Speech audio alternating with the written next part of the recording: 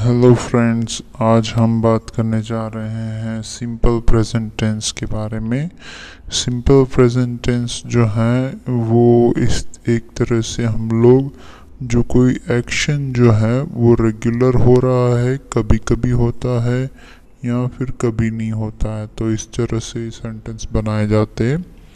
इसमें आप यहाँ पे देखिएगा, आपका जो वर्ब है, वो एज इट इज़ फॉर्म में आता है।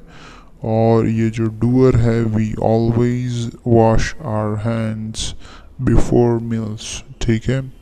इस तरह से इसका सेंटेंस फॉर्मेशन आता है, यानी कि आप कह सकते हैं सब्जेक्ट है वर्ब है एंड ऑब्जेक्ट है। So this is all about the simple present ends ठीक है?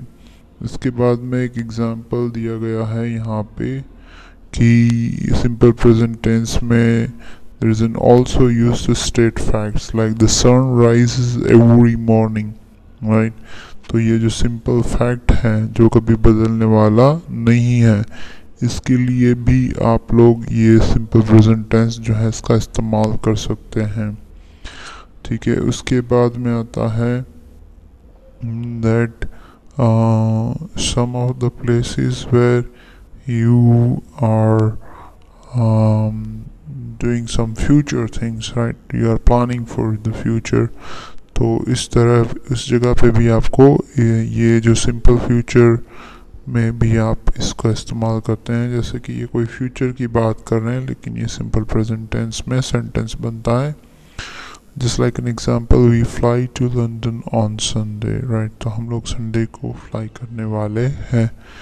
ऐसे सेंटेंस में भी आप सिंपल प्रेजेंट टेंस का इस्तेमाल कर सकते हैं। कभी कभी इसके साथ हेल्पिंग वर्ब्स आते हैं, जैसे कि एम इज़ आर है।